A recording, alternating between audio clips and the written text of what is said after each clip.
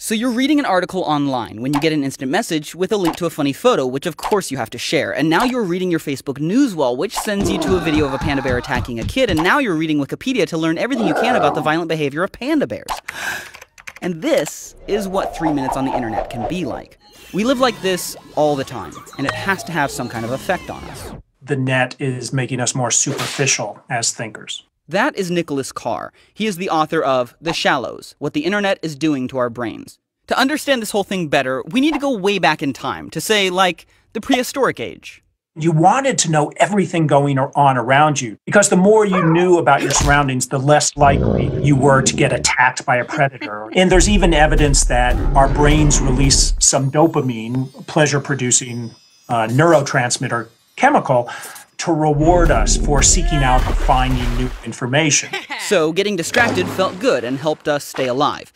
But the problem is that nowadays, predators aren't much of an issue, but we still have the same brains. And also, there's the internet, which is. It's an incredibly information rich environment uh, that the net creates for us. And that's why we use it so much. I, I mean, sounds, pictures, words, text. And what this tends to do is, is promote a sort of compulsive behavior in which we're constantly checking our smartphone, constantly glancing at our email inbox. We're kind of living in this perpetual state of distraction and interruption. Which is dangerous because that mode of thinking crowds out the more contemplative, calmer modes of thinking. And that focused, calm thinking is actually how we learn. It's a process called memory consolidation. And that means the transfer of information from our short term working memory to our long term memory.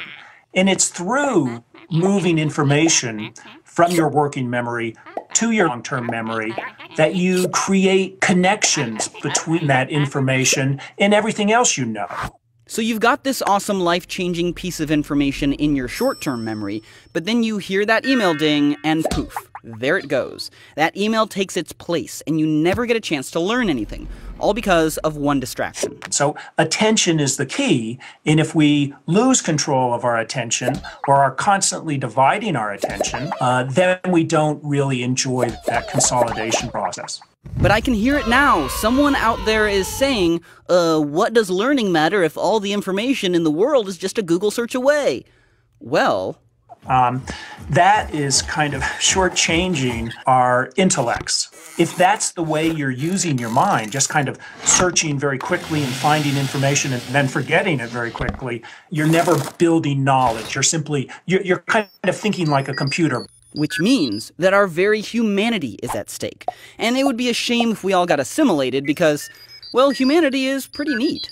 I really believe that if you look at the great monuments of, of culture, they come from people who are able to pay attention, who control their mind. That's what allows us to think in the highest terms, and think conceptually, think critically, uh, think in some very creative ways.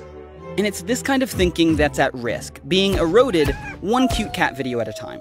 Don't get us wrong, the internet is good for lots of things, and it should be celebrated. But the best thing we can do for our minds is to find some time every day to unplug, calm down, and focus on one thing at a time.